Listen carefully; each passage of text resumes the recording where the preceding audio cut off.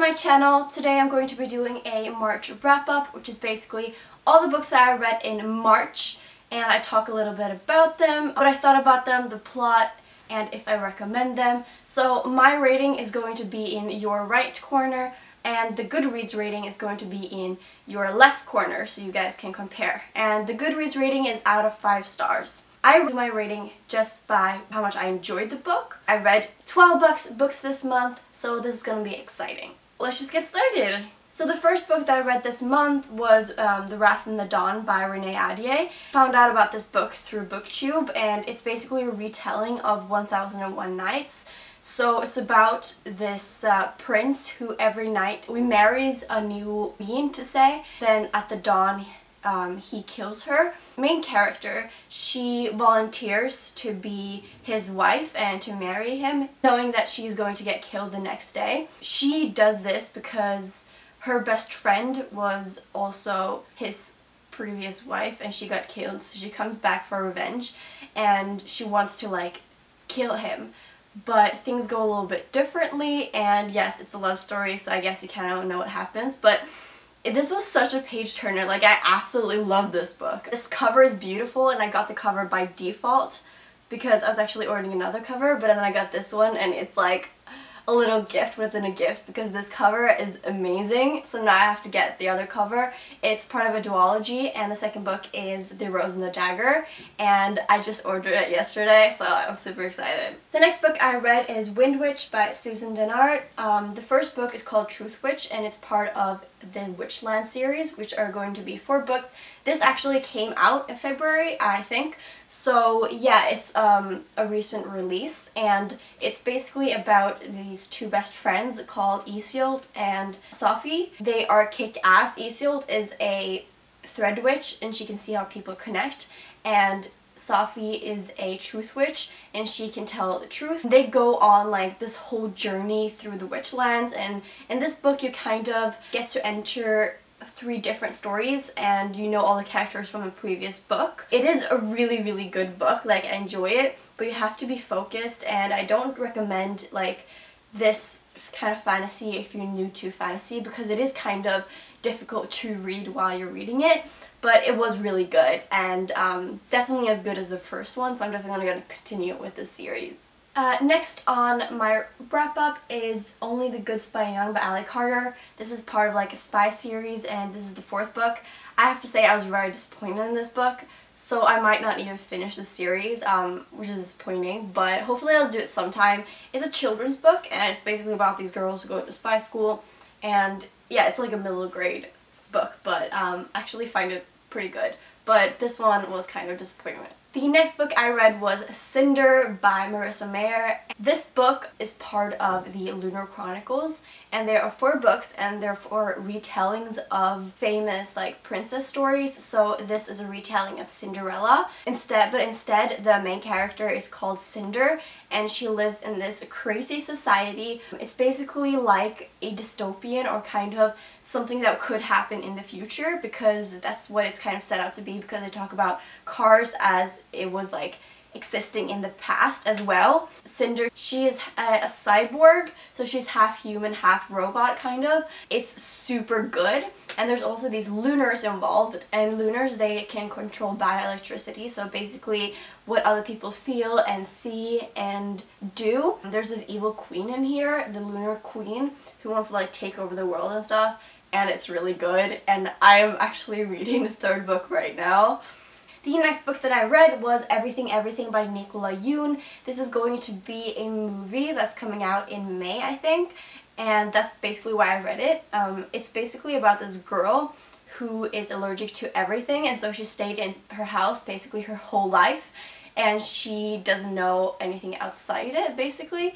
And then this boy moves in next door, and she basically wants to get to know him, but she can't even go outside her house and it's a love story kind of but it's also about her and her discovering her limits and stuff and this book is so great because there's like the chapters are pretty short but then there's also like these drawings and like different things happening inside the book and like their dialogues through Gmail and stuff. I thought this good book was good but it's not as good as like what everyone has hyped it up to be because like it's okay and I liked it but it wasn't like amazing and I don't really feel like reading you know uh, Nicola Yoon's other books even though they're said to be better. The next book I read was Percy Jackson and the Olympians, the second book, The Sea of Monsters. This was a good book too. I liked it, but I didn't like it as much as the first book in the series. It's basically about half-gods and it's um, series I feel like everyone kind of has to read.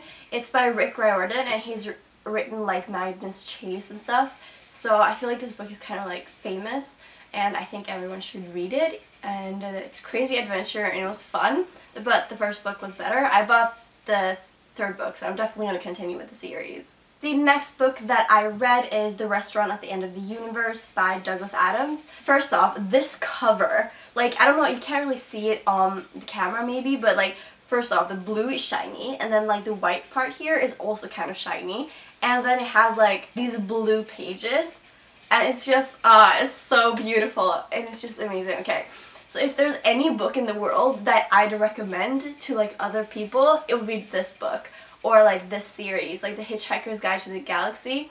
It's this series, I forgot to say so, and this is the second book in the series. And they're just so good. Like, I can't even explain how good they are. They're hilarious. They have, like, a stand like a point of view on everything literally and they kind of um, make fun of our whole society and the way we live and it's just amazing. In the first book the earth blows up and only two like people survive and they meet these other like aliens kind of you can say um, and they're just crazy and they all have these like super funny personalities. The whole book is hilarious like I laughed out loud the whole time just please read these books. Like, ugh, I love them so much. And it's just ridiculous. They're absolutely ridiculous. Then the next book I read was Scarlet by Marissa Meyer and this is the second book in the Lunar Chronicles. This is a retelling of Little Red Riding Hood and so um, this story is kind of parallel to the Cinder story. So from this story you just get a new character but you still get to follow Cinder throughout her journey and they all kind of meet each other at some point but you also get like a new character that comes into the story in every book. And so in this one it is Scarlet and I feel like this book's main theme is like anger because she meets this guy called Wolf and he is also pretty angry and she's pretty like they both have a hot temper kind of but it's a really good book too. Um, I like this one, but the first one's better, I think. The next book that I read is Everything I Never Told You by Celeste Ng. I don't know I don't know how to say that, ung, not sure. Uh, this was actually part of a book club that, actually my mother's book club, I took part in it. And it's very interesting because it's about this Asian family kind of, or this mother, the mother's not Asian, but the dad is, and it's situated in America. Their middle daughter, Lydia, dies, and they don't know why. Um, she died, and they tried to deal with like her death, and basically it only has 12 chapters and the chapters are really long and every second chapter you get to go back in history and learn about their story and about Lydia and the family dynamics and how the parents don't even talk to each other about anything, they don't know their kids. It just, when it refers to everything I never told you, it's basically about the whole family and everyone who's in it. And it's just so um, heartbreaking, like when you're reading the book, it literally feels like you're like carrying something super heavy on your chest because it's so it's so touching but it's also really difficult to read. So I recommend this book but maybe you're gonna hate it, maybe you're gonna love it. Um, it's difficult to read but it's a very good book so I do recommend it. The next book that I read is a debut novel, novel actually by Alice Broadway, and this book is called Ink. Um, I actually just picked this book up without knowing what it was about. Um, it's going to be more than one book, and in the beginning I was a little unsure because the language is not amazing, but the story, like, and the plot is really good.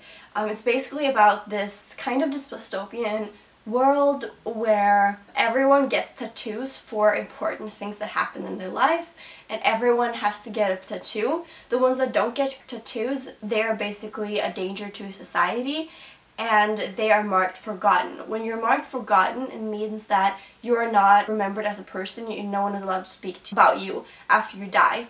And so when you do die, your skin gets saved in these ink books um, where your family and friends can basically look at a book like your skin and all the markings on your skin and so they can see your life story kind of in like a book. And so the main character's dad just dies and she basically has to deal with it and then she discovers some things about society that she didn't know before. It is really good. Um, I highly recommend this book. This got published in like February so it's also pretty new. The next book that I read was The Thinking Woman's Guide to Real Magic by Emily Croy Barker. This is also a debut novel and it's about this woman who discovers this magical world by accident. And when I say woman, I mean woman because she's 29 years old.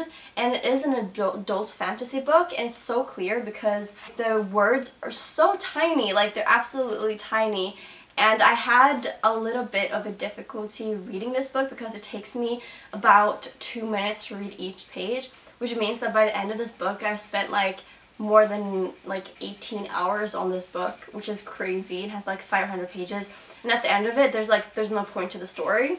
So I think I gave this book a 2, but when I was done, I felt kind of like empty. Like, I kind of missed the characters and stuff. And it's written sort of in this medieval-ish magical world um, but in like a um, fairy tale kind of thing, like kind of similar to Alice in Wonderland, but in like an adult kind of way. So I guess it was kind of cool, and I bought this book because of the cover, because it's pretty pretty awesome. But I don't think I'll be reading anything more by this author, and I don't recommend this book unless you're like super into fantasy and you want to be disappointed. I'm glad I read it. I feel like if I like we can read this, I can read anything and it took me like ages to read so I had a really good month and I could have read much more books this month but because of this book I got kind of stuck somewhere so that sucks. The last book that I read is Sanctum by Madeline Roux. This is the second book in the Asylum trilogy and um, it was kind of like a continuation of the story. I like this because it has like loads of um, pictures and stuff in it and you kind of get to go to like a circus in this one. The title kind of ruins the story actually because you're not supposed to know about it. But I thought it was good. It was like very average, but I enjoyed reading it and I did get the creeps a little bit and I did finish it really quickly. So yeah, it was a good book. So that is it for this video. Thank you guys so much for watching. I realized it it's like a little bit longer, but I just felt like I wanted to explain the books a little bit more this time. So I hope you guys all have a lovely day and a lovely reading month, and I'll see you guys soon. Bye!